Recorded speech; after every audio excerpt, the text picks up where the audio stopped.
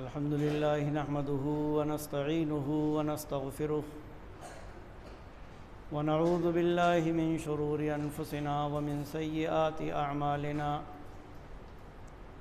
من يهده الله فلا مضل له ومن يضلل فلا هادي له.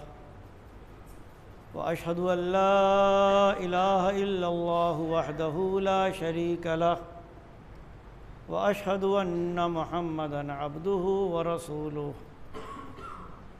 يا أيها الذين آمنوا اتقوا الله حق تقاته ولا تموتن إلا وأنتم مسلمون. يا أيها الناس اتقوا ربكم الذي خلقكم من نفس واحدة وخلق منها زوجها وبث منهما رجالا كثيرا ونساء. واتقوا الله الذي تساءلون به والأرحام. إن الله كان عليكم رقيبا. يا أيها الذين آمنوا اتقوا الله وقولوا قولا سديدا. يصلح لكم أعمالكم ويغفر لكم ذنوبكم. ومن يطع الله ورسوله فقد فاز فوزا عظيما. أما بعد فإن خير الحديث كتاب الله وخير الهدي هدي محمد صلى الله عليه وسلم وشر الأمور محدثاتها وكل محدثة بدعة وكل بدعة ضلالة وكل ضلالة في النار. أعوذ بالله السميع العليم من الشيطان الرجيم. بسم الله الرحمن الرحيم. قل إن الموت الذي تفرون منه فإنه ملاقيكم ثم تردون إلى عالم الغيب والشهادة فينبئكم بما كنتم تعملون. رب اشرح لي صدري ويسر لي أمري واحلل عقدة من لساني يفقه قولي. حاضرین جمعہ بزرگوں، دوستوں اور خواتین ملت اسلامیہ۔ اللہ رب العالمین نے ہم سب کو پیدا فرمایا ہے۔ اور نہ صرف یہ کہ ہم انسانوں کو، بلکہ ہر جاندار کو اور ہر شے کو، ہر چیز کو، ذرے ذرے کو اسی نے پیدا فرمایا یہ زندگی جو اللہ رب العالمین نے ہمیں عطا فرمائی ہے، اس زندگی کو دینے کے ساتھ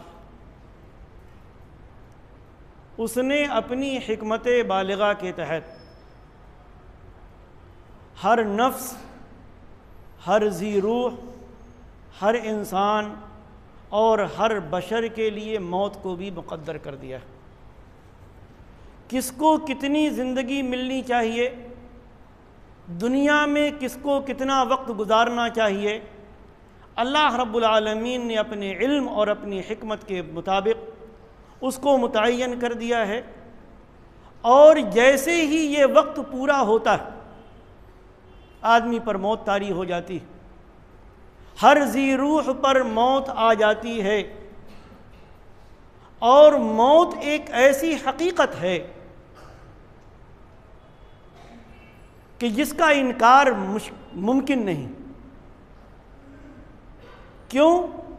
اس لیے کہ نہ صرف یہ کہ کتاب و سنت میں ہر ذی روح اور ہر نفس کے موت کی بات کہی گئی۔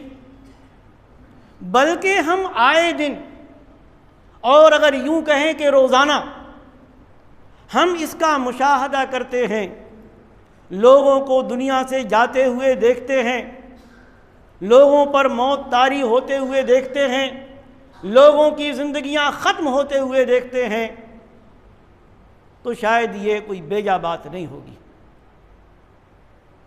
موت ایک ایسا اٹل فیصلہ ہے اس ذات کا جس کو کبھی موت نہیں۔ جو حی ہے، جو قیوم ہے، جس کی صفت ہے لا يموت اس کا فیصلہ ہے۔ ہم ان، اس کا اقرار کریں یا نہ کریں، ہم موت سے بھاگیں۔ اس بات کو لوگوں کے سامنے پیش کریں کہ شاید موت ہم کو نہیں آئے گی۔ تو ایسا ممکن نہیں۔ سورہ جمعہ پڑھیں، اللہ تبارک و تعالی ارشاد فرماتا ہے، قل ان الموت الذي تفرون منه فانه ملاقيكم، ثم تردون الى عالم الغيب والشهاده فينبئكم بما كنتم تعملون۔ آپ کہہ دیجیے کہ وہ موت جس سے تم بھاگتے ہو اور یہ سمجھتے ہو کہ شاید وہ تمہارے پاس نہیں آئے گی، ملک الموت نہیں آئے گا، تمہیں ہمیشہ رہنا ہے۔ فَإِنَّهُ مُلَاقِيكُمْ، وہ موت تم سے ملاقات کرے گی، تم سے ملے گی، تمہارے پاس آئے گی۔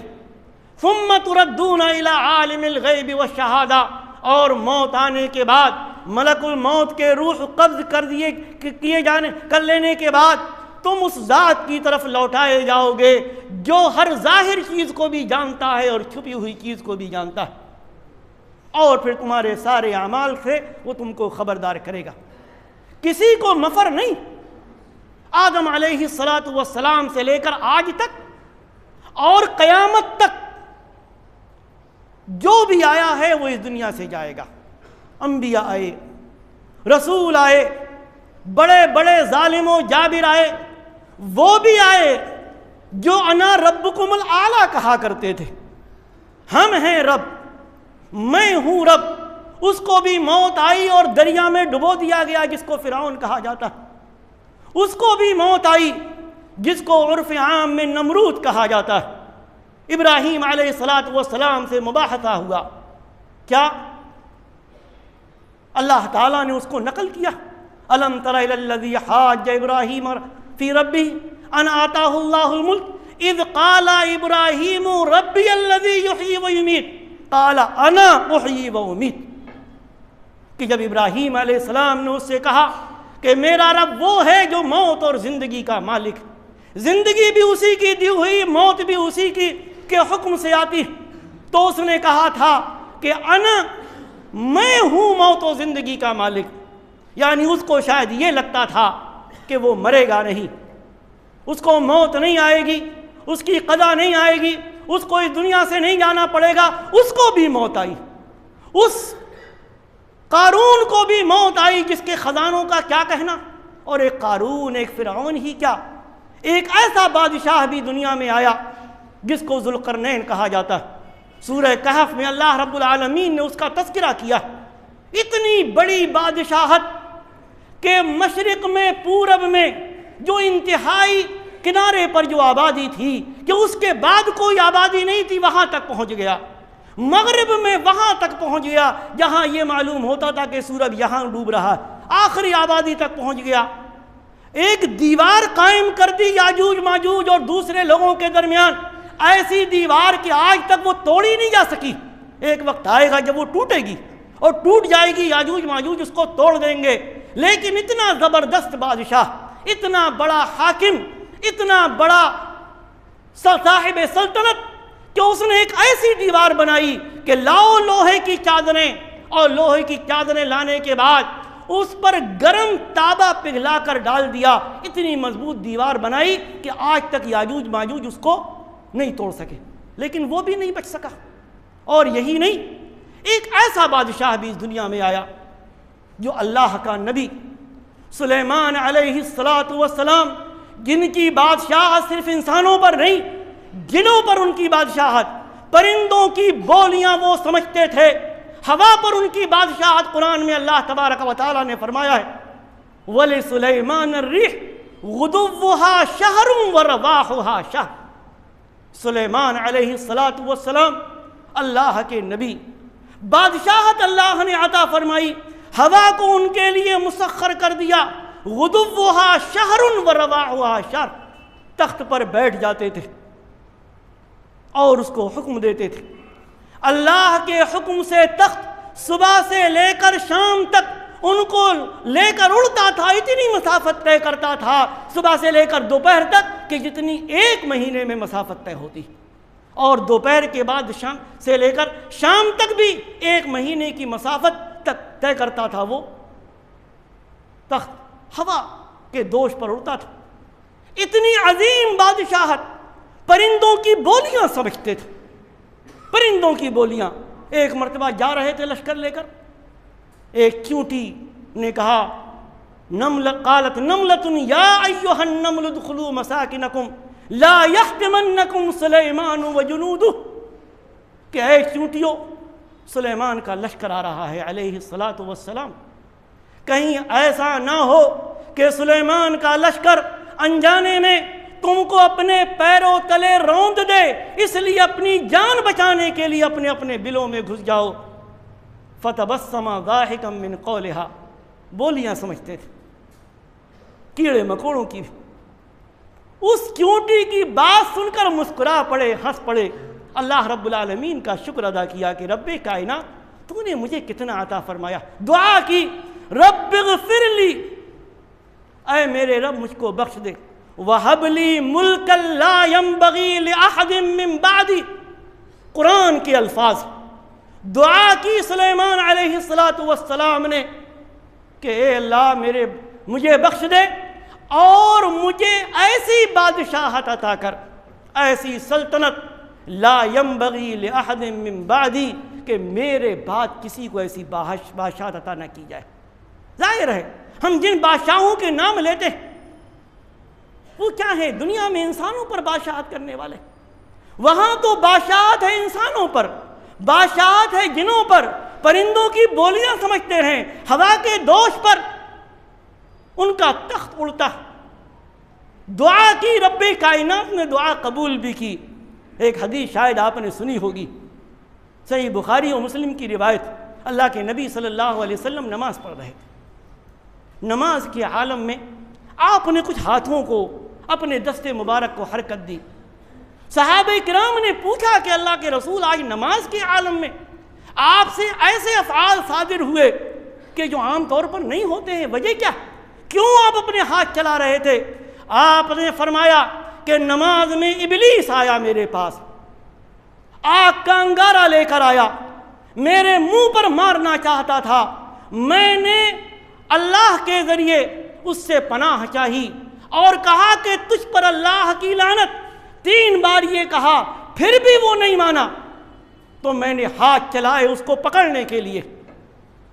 میں نے اس کو پکڑنے کے لیے ہاتھ چلائے، لیکن پھر میں نے اپنے ہاتھوں کو سمیٹ لیا، کیونکہ اپنے بھائی سلیمان علیہ السلام کی وہ دعا یاد آ گئی۔ کہ حبلی ملکن لا ينبغی لأحد من بعدی انکا انت الوحاب کہ اللہ مجھے ایسی بادشاہت عطا فرما کہ جو دنیا میں کسی کو میرے بعد نہ ملے اگر یہ دعا مجھے یاد نہ آئی ہوتی تو میں اس ابلیس کو پکڑتا اور مسجد کے ستون سے باندھ دیتا۔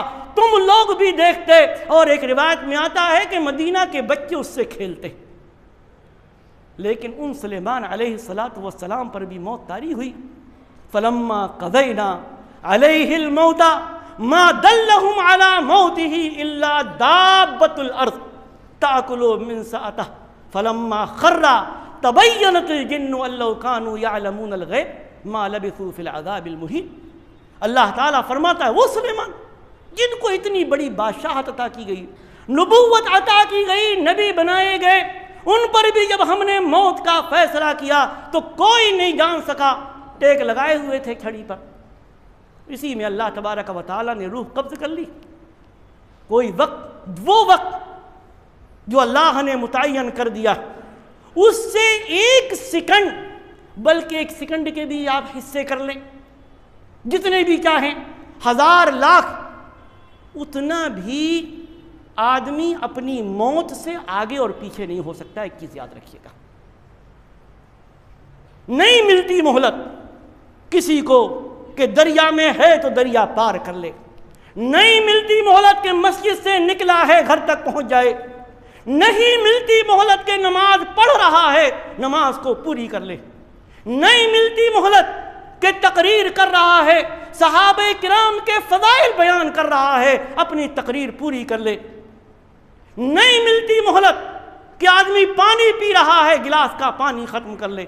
نہیں ملتی مہلت کے سجدے میں ہے، سجدے کی پوری دعائیں کر کے اپنے سجدے سے سر اٹھا لے۔ یہ آج کل سوشل میڈیا پر یہ ساری چیزیں ہم اور آپ دیکھتے ہیں، دیکھ سکتے ہیں۔ تو چھڑی پر ٹیک لگائے لگائے سلیمان علیہ السلام کا انتقال ہو گیا۔ روح قبض کر لی گئی اللہ تبارک و تعالیٰ کی طرف سے، ملک الموت نے قبض کر لیا۔ کیوں؟ اس لیے کہ اس کا تو فرمان ہے اللہ تبارک و تعالیٰ۔ فَإِذَا جَاءَ أَجَلُهُمْ لَا يَسْتَأْخِرُونَ سَاعَةً وَلَا يَسْتَقْدِمُونَ۔ جب موت آ جائے گی تو پل بھر بھی نہ پہلے ہو سکتی ہے، نہ بعد میں ہو سکتی۔ ہماری آپ کی ٹرین کبھی بیفور ہو جاتی ہے بیفور ٹائم ہو جاتی۔ ہے اللہ رب العالمین نے جو ہماری اور آپ کی زندگی لکھ دی نہ موت کا فرشتہ اس سے پہلے آ سکتا ہے اور نہ مہلت دے سکتا۔ سلیمان علیہ السلام والسلام بھی اس دنیا سے چلے گئے۔ وہ نبی بھی اس دنیا سے گئے جو سید ولد آدم ہیں، امام الانبیاء ہیں، خاتم النبیین ہیں، جن کے بارے میں مکہ والے مذاق کرتے ہوئے کہا کرتے تھے، یہ نبی تو دنیا سے چلا جائے گا۔ اس کو تو مر جانا ہے۔ یہ تو مر کر ہی رہے گا۔ اللہ تبارک و تعالی نے فرمایا، وما جعلنا لبشر من قبلك الخلد۔ افئن مت فهم الخالدون۔ ہمارے نبی کے مرنے کی بات کرتے ہو۔ ہمارے نبی کے دنیا سے جانے کی بات کرتے ہو۔ کیا اللہ تعالی نے کسی انسان کو ہمیشگی عطا کی ہے؟ وما جعلنا لبشر من قبلك الخلد۔ فرمایا، اے نبی آپ سے پہلے کسی بھی انسان کے لیے ہم نے ہمیشگی نہیں رکھی۔ سلیمان گئے، داؤد گئے، آدم گئے، نوح گئے، ابراہیم گئے، موسیٰ علیہ السلام گئے، بڑے بڑے ظالم و جابر بادشاہ گئے، فرعون گیا، نمرود گیا، حامان گیا، شداد گیا، نہ جانے کتنے گئے۔ خدائی کا دعویٰ کرنے والے ربوبیت کا دعویٰ کرنے والے، الوحیت کا دعویٰ کرنے والے، موت و زندگی کا اپنے آپ کو مالک سمجھنے والے، دنیا کے خزانوں کا اپنے آپ کو مالک سمجھنے والے آئے اور چلے گئے۔ آپ بھی چلے جائیں گے۔ آپ سے پہلے کسی بھی انسان کے لیے، کسی بھی ابن آدم کے لیے ہم نے ہمیش کی نہیں بنائی۔ افیم متا فہم الخالدون۔ اگر آپ کی وفات ہو جائے گی، آپ کو موت آ جائے گی، تو یہ جو آپ کا مذاق اڑاتے آپ کو نبی نہیں مانتے، آپ کا انکار کرتے ہیں، آپ کی نبوت کا انکار کرتے ہیں، آپ کی رسالت کا انکار کرتے ہیں، آپ پر نازل ہونے والے قرآن کا انکار کرتے ہیں، کیا یہ ہمیشہ رہ جائیں گے؟ یہ بھی نہیں رہیں گے۔ ان کا میتوں و انہم میتون۔ آپ کو بھی اس دنیا سے جانا ہے۔ آپ پر بھی موت آنی ہے اور ان سب پر بھی موت آنی اور موت آئی۔ امام الانبیاء پر بھی۔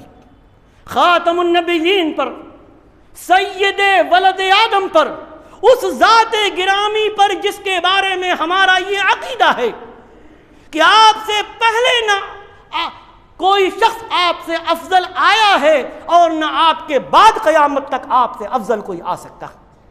یہ عقیدہ ہے ہمارا اپنے نبی خاتم الانبیاء والمرسلین محمد الرسول اللہ صلی اللہ علیہ وآلہ وسلم کے بارے میں۔ ان کے لیے بھی ہمیش کی نہیں۔ قرآن نے کہا تھا، انکا میتون و انہم میتون آپ کو بھی موت آنی ہے اور ان سب کو بھی موت آنی ہے۔ نہ آپ ہمیشہ رہیں گے اور نہ یہ سب ہمیشہ رہیں گے۔ اور آیا ایک دن، بارہ ربیع الاول، سن گیارہ ہجری کا وہ دن، سوموار کا، کہ جس دن آپ کی وفات ہو گئی۔ اٹھائیے صحیح بخاری، کسی اور کے الفاظ نہیں۔ بلکہ اس امت کے سب سے افضل شخص ابو بکر صدیق رضی اللہ تعالی عنہ کے وہ الفاظ پڑھیے اور سنیے کہ جب آپ صلی اللہ علیہ وسلم کی وفات ہوئی، وہ موجود نہیں تھے، مدینہ میں، ایک گاؤں میں گئے ہوئے تھے۔ وہاں سے واپس آئے۔ معلوم ہوا کہ پیارے نبی صلی اللہ علیہ وسلم اس دنیا سے چلے گئے۔ صحابہ کرام پریشان۔ حضرت عمر بن خطاب رضی اللہ تعالی عنہ جیسا شخص بھی اپنے ہوش و حواس کھو بیٹھا۔ آئے ابو بکر صدیق رضی اللہ عنہ، آپ کے چہرے مبارک سے چادر ہٹائی اور آپ کی پیشانی پر بوسا دیا۔ اس کے بعد باہر گئے۔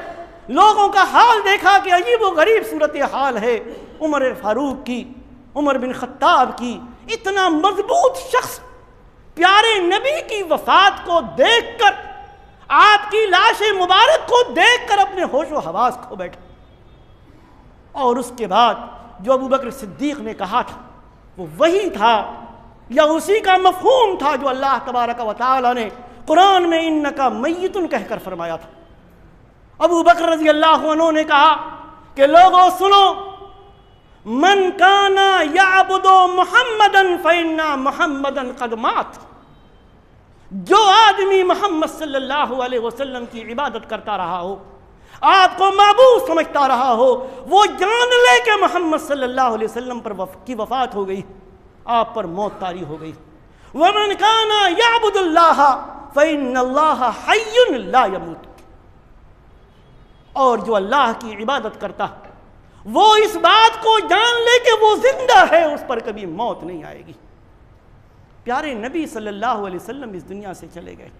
قرآن نے کہا، اینما تکونو یدرککم الموت ولو کنتم فی بروج مشیدہ۔ جہاں کہیں بھی تم رہو گے مضبوط قلعوں میں بند ہو جاؤ، لیکن موت تم کو آ لے گی۔ لوگ سیکورٹی رکھتے ہیں۔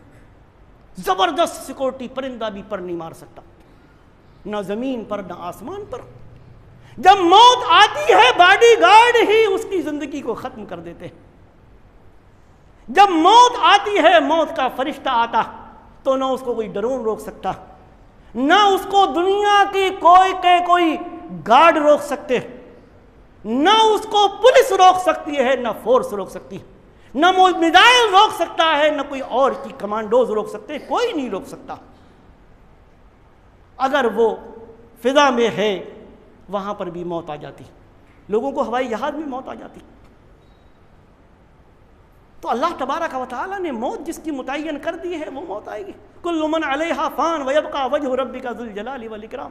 ہماری بھی موت آئے گی۔ ہم سب کی موت آئے گی۔ موت کی تیاری کیا کی ہے ہم نے؟ یہ کبھی سوچا ہم نے۔ موت کی تیاری کیا کی؟ ایک سال گزر گیا۔ سن چودہ سو تینتالیس ہجری گزر گیا۔ چودہ سو چوالیس ہجری شروع ہو گیا۔ محرم کی غالباً چھ تاریخ۔ بڑی مبارک بادیں ادھر سے ادھر ادھر سے ادھر۔ نیا سال مبارک، یہ اور وہ۔ لیکن ہم کو جو زندگی ملی، ہم پچاس سال کے ہو گئے، پچپن سال کے ہو گئے، بیس سال کے ہو گئے، پچیس سال کے ہو گئے۔ یہ بھی غور کیا کہ ہماری زندگی کے پچیس سال کم ہو گئے، ہم موت سے قریب ہو گئے، اپنی قبر سے قریب ہو گئے، محاسبہ کیا اپنا؟ ہم نے کتنی نیکیاں کی، کتنے گناہ کیے، کیا تیاری کی ہے ہم نے موت کے لیے؟ کیا لے کر جائیں گے رب کائنات کے سامنے؟ کیا ہم نے نیکیاں کی ہیں؟ کیا ہم اس خاص طور سے اس مہینے میں جو محرم کا مہینہ گزر رہا ہے، نئے سال کا پہلا مہینہ، اس میں ہم نے ذلحجہ تک اپنے جو اعمال کیے تھے، کیا ہم نے محاسبہ کیا اس کا؟ ہمارے پاس ہے اس کا لیکھا جوکھا؟ کتنی نیکیاں کی کتنی برائیاں کی کتنی نمازیں چھوٹی کتنی سن کتنی سنتیں چھوٹی کتنا ہم لوگوں کے کتنا ہم لوگوں کے نے ہم نے لوگوں کے ساتھ غلط رویہ اختیار کیا، کتنی ماں باپ کی خدمت کی، کتنا سچ بولے، کتنا جھوٹ بولے؟ یاد رکھیں، محرم کو کتاب و سنت کے مطابق محرم کو نہ گزارنے سے ہماری موت کی تیاری نہیں ہو جائے گی۔ ہم کسی کو برا بھلا کہیں، کسی کے ایمان کو جانچیں، کسی کی کسی اور چیز کو جانچیں۔ تل کا امت قد خلط لہا ما کسبت ولکم ما کسبتم۔ وہ تو گزر چکے جن کو گزرنا تھا۔ ان سے ان کے بارے میں سوال ہوگا، ہم سے ہمارے بارے میں سوال ہوگا۔ ہمارے سامنے ہے کیا وہ حدیث؟ جس کے بارے میں پیارے نبی صلی اللہ علیہ وسلم نے کیا فرمایا تھا؟ حضرت عبداللہ بن عمر رضی اللہ تعالیٰ عنہ کہتے کہ اللہ کے نبی صلی اللہ علیہ وسلم نے میرا مونڈھا پکڑا اور فرمایا، کن فی الدنیا کانکا غریب او عابر و سبیل. کہ دنیا میں مسافر کی طرح رہو یا سفر کرنے والے کی طرح رہو۔ صحیح بخاری کے آگے کے الفاظ کہ ابن عمر رضی اللہ تعالی عنہ کہا کرتے تھے اذا امسیتا فلا تنتظر الصباح۔ اگر شام ہو جائے تو صبح کا انتظار مت کرو۔ کتنے ہیں جو رات کو سوتے ہیں اور سوتے ہی رہ جاتے ہیں۔ جاگنا نصیب نہیں ہوتا۔ وَإِذَا أَصْبَحْتَ فَلَا تَنْتَظِرِ الْمَسَاء۔ اور جب صبح ہو جائے تو شام کا انتظار مت کرو۔ پتہ نہیں شام ملے گی بھی کہ نہیں ملے گی۔ اور آگے کہتے ہیں کہ خود لے مرض کا من صحت اللہ نے صحت دی ہے، تندرستی دی۔ تو اس سے پہلے کہ بیماری آئے، ہم کسی لائق نہ رہیں، عبادات نہ کر سکیں، سنن و نوافل ادا نہ کر سکیں، نیکیاں نہ کر سکیں، نیکی کر لو۔ اور موت کے لیے اپنی زندگی کو غنیمت جان کر جب تک موت نہیں آ رہی ہے، موت کی تیاری کر لو۔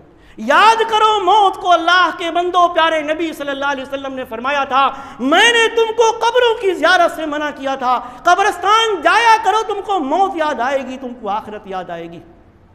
آج ہم کتنی برائیاں کرتے ہیں، وجہ کیا؟ ہم کو یقین نہیں کہ ہم مریں گے۔ اگر مرنے کا یقین ہو، تو برائی کرنے والا برائی نہیں کرے گا۔ ظلم کرنے والا ظلم نہیں کرے گا، حرام خوری کرنے والا حرام خوری نہیں کرے گا، شراب پینے والا شراب نہیں پیے گا، جوا کھیلنے والا جوا نہیں کھیلے گا۔ اگر اس کو یقین ہو کہ آج میں اپنے بھائی کو اپنے کندھے پر لاد کر، اٹھا کر قبرستان پہنچا کر آیا ہوں، جن کے ساتھ میں جا رہا ہوں، کل یہی اپنے کندھے پر اٹھا کر مجھ کو قبر میں دفن کر کے آئیں گے۔ اگر یہ یقین ہو جائے تو آدمی برائیاں چھوڑ دے گا۔ ہم کو یقین ہے کہ اگر ہم بجلی کا ننگا تار بغیر حفاظتی اقدامات کے پکڑ لیں گے تو ہماری زندگی ختم ہو جائے گی۔ ہم نہیں پکڑتے۔ سانپ کے بل میں ہاتھ نہیں ڈالتے، شیر کے سامنے نہیں جاتے۔ بیس اور تیس منزلہ عمارت سے اپنے آپ کو کود کر ہلاک نہیں کرتے، کیونکہ ہم کو یقین ہے اگر ہم ایسا کریں گے تو ہم بچ نہیں پائیں گے۔ کیا موت کا یقین نہیں؟ کتنے آئے اور چلے گئے۔ ہم اپنے سامنے دیکھتے ہیں، اس لیے اللہ کے بندوں جو اللہ نے ہمیں زندگی دی ہے، اس کو غنیمت سمجھا ہر لمحہ، ہر گزرنے پالا والا پل ہم کو اپنی موت سے قریب کر رہا ہے، اس کے لیے تیاری کرو۔ نیک کام کرو، اچھے کام کرو، بھلائی کے کام کرو۔